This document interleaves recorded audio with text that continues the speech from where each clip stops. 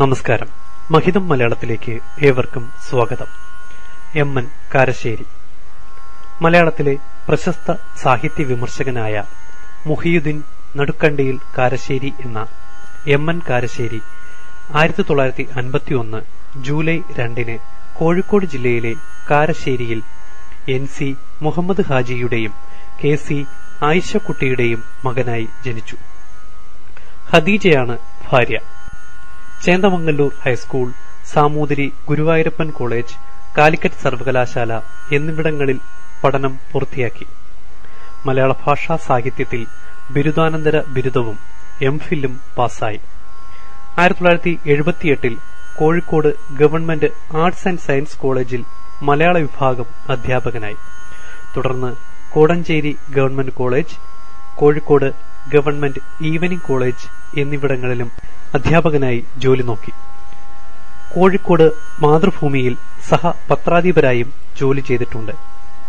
ആയിരത്തി തൊള്ളായിരത്തി തൊണ്ണൂറ്റിമൂന്നിൽ കാലിക്കറ്റ് സർവകലാശാലയിൽ നിന്നും ഡോക്ടറേറ്റും ലഭിച്ചിട്ടുണ്ട്. ഭാഷാ പണ്ഡിതൻ സാമൂഹിക നിരീക്ഷകൻ എന്നീ നിലകളിൽ പ്രശസ്തനായ അദ്ദേഹം മതം വർഗീയത മതേതുരത്വം സാഹിത്യം തുടങ്ങിയ വിഷയങ്ങളെ അധികരിച്ച് ആനുകാലികങ്ങളിലും പത്രങ്ങളിലും ലേഖനങ്ങൾ എഴുതാറുണ്ട്. മുസ്ലിമായി വളർന്നെങ്കിലും ഇസ്ലാമിക രാഷ്ട്രീയത്തെയും സ്ത്രീവിരുദ്ധമാനങ്ങളെയും ജനാധിപത്യ വിരുദ്ധതയെയും ജീർണതകളെയും തുറന്ന് എതിർത്തിരുന്നു. മലയാള ഭാഷയെ ആരെങ്കിലും മോശമായി ഉപയോഗിച്ചാലും വെറുതെയിരിക്കില്ല ഭാഷയെ സ്നേഹിക്കണമെന്നും ഭാഷയെ വൈകൃതമാക്കാതെ തെളിമലയാളം ഉപയോഗിക്കണമെന്നുമാണ് മാഷ് വിദ്യാർത്ഥികളോട് പറയാറുള്ളത്. അല്പം കർക്കശക്കാരനാണെങ്കിലും വിദ്യാർത്ഥികൾക്കെല്ലാം തന്നെ കാരശ്ശേരി മാഷ് ഏറെ പ്രിയങ്കരനായിരുന്നു. ഡോക്ടർ സുകുമാർ അഴീക്കോടിന്റെ പ്രിയ ശിഷ്യനായിരുന്ന അദ്ദേഹം വൈക്കം മുഹമ്മദ് ബഷീറുമായി അടുപ്പം കാത്തുസൂക്ഷിച്ചിരുന്നു. മാരാരുടെ കുരുക്ഷേത്രം അഴീക്കോട് മാഷ് ഹുസ്നുൽ ജമാൽ മുല്ല നസറുദ്ദീൻ കഥകൾ മുല്ല നസറുദ്ദീന്റെ നിരംപോക്കുകൾ മുല്ല നസറുദ്ദീന്റെ പൊടിക്കൈകൾ സാഹിത്യ സിദ്ധാന്ത ചർച്ച താരതമ്യ സാഹിത്യ വിവേകം താരതമ്യ സാഹിത്യ വിചാരം താരതമ്യ സാഹിത്യ ചിന്ത ആരും കൊളുത്താത്ത വിളക്ക് ചേകന്നൂരിന്റെ രക്തം തുഞ്ചൻ പറമ്പിലെ ബ്ലീച്ച് മുസ്ലിം നാടുകളിലെ പഴഞ്ചൊല്ലുകൾ കാഴ്ചവട്ടം സംസാരം ആലോചന മലബാർ കലാപം നാലാം ലോകം കേരളീയത മാപ്പിളപ്പാട്ടിന്റെ ലോകം ശരിയത്ത് ചില വർത്തമാനങ്ങൾ നമ്മുടെ മുന്നിലെ കണ്ണാടികൾ ഒരു വാക്കിന്റെ പാഠം പാഠാന്തരം വിവേകം പാകം ചെയ്യുന്നത് ഏതടുപ്പിലാണ്?